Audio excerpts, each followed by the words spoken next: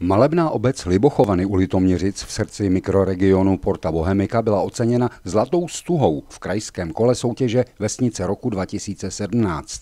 Vyhlášení výsledků proběhlo právě ve vítězné obci, která titul získala za komplexní přístup k celkovému rozvoji obce v mnoha různých oblastech. My jsme se snažili představit naší obec eh, z globálu, eh, veškerou občanskou vybavenost, infrastrukturu, společenský život, aktivity občanů, školku, knihovnu, dílnu pro volnočasové aktivity, sportovce. Soutěž vyhlašují ministerstva zemědělství a pro místní rozvoj spolu se svazem měst a obcí a dalšími subjekty a hodnotí se mnoho kritérií. My jsme očekávali spíš modrou nebo bílou stuhu za činnost eh, s dětmi a za společenský život a byli jsme milé překvapení, když jsme dostali zlatou. Atmosféra po předání hlavní ceny byla báječná a Libochovanští dali své nadšení jasně najevo. Obec Libochovany a strašně gratulujeme.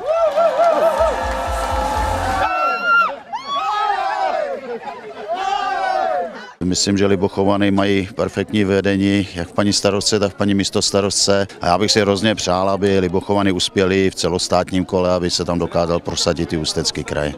V rámci vyhlašování krajského kola byly předány i stuhy dalších barev, například zelená za péči o životní prostředí pro Radovesice, oranžová za spolupráci se zemědělským subjektem pro srbskou kamenici. Dal také diplomy za konkrétní počiny a aktivity, třeba za květinovou výzdobu pro patokrie nebo za péči o kulturní památky pro hrobčice. Součástí slavnosti byla i kulturní vystoupení dětí i dospělých. Když se o jejich smrti kamícký rytíř dověděl, hořce zaplakal.